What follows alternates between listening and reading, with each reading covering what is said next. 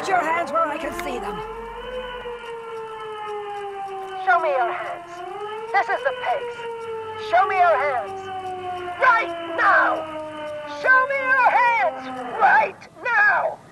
Scavenged, battery-powered police lights protrude from her back. The flickering light show reveals a gun in her shaking hand. Her hand is trembling from some sort of neurodegenerative disease. You shouldn't be here. Something's very wrong with her. She's completely out of control. The man appears to be pulling out an object from his pocket. Fear and the threat! Fear and the threat! Superseding event. Split second decision. Get on the ground! Get on the goddamn ground! Get on the ground! I want you on the pavement right now! This is the pig! Subject yourself to a full body cavity search. Prohibited materials concealed in nostrils, ears, mouth, navel, urethra, foreskin, vagina, and rectum. In her mind, the cavity search is happening, as long as she's saying it. It appears the things she says are very real to her. The situation looks bad. Calm yourself. Steady your breathing. This is dangerous. You're 70% certain you always leave your gun loaded. Back up! Back up! Back up! Status unconfirmed! I do? Gareth? No, I... Aggravated assault! Man down! Suspect on foot!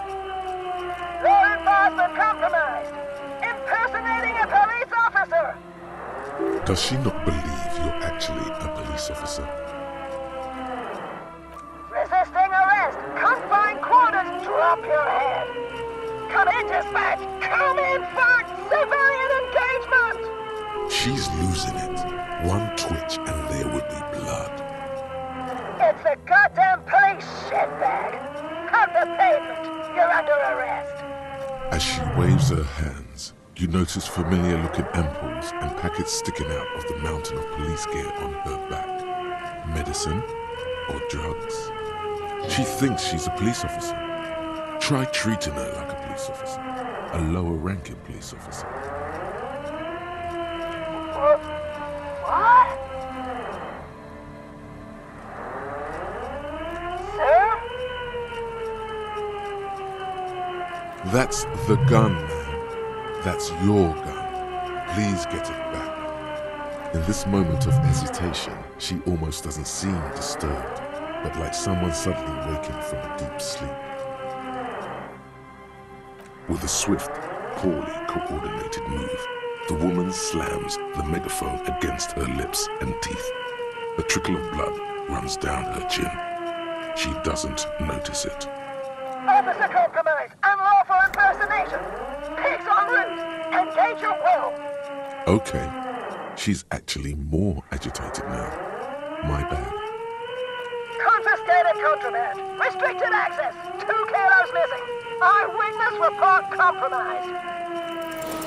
She's frantic, confused, teetering under all that gear. There's an opening if you just move fast enough. Suicide by cop! Split second decision! Eat lead, scumbag! Oh, I see. Okay, the gun was empty. All is good. You're fine. Wha- What is this? This isn't police issue. Police weapons have bullets. This isn't real. Police don't always have bullets. What is this? Why did sell me this? She looks devastated. Grab the gun right now. This might be your only chance. No one ever cares anymore. Why would they treat me like this? Okay, you need to figure out what to do with her now. Nobody's ever around. To visit me. Her scratched skin is warm to the touch, but the person inside doesn't even know you're there. The catatonic woman, especially now that she's unarmed, doesn't seem to be a threat to anyone but herself. The catatonic woman doesn't understand, probably even hear, your kind words. She just is. It's a shame. A recognition from an actual police officer would probably mean a lot to her. Too bad she'll never know. Mr. Moran? Gareth? Thank you. Thank you. Mr. Moran? Mr. Gareth Moran? The former cop turned Channel 8 crime show host? That Gareth Moran from the radio? That was the most honorable thing anyone has ever done, Harry. The woman stands motionless, just a heap of clothes and flashes now. Maybe if you search her. Please leave the radio on.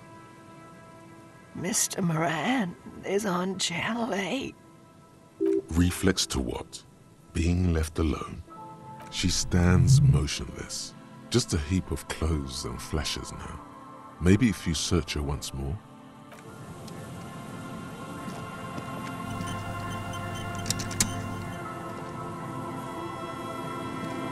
The woman stands slumped.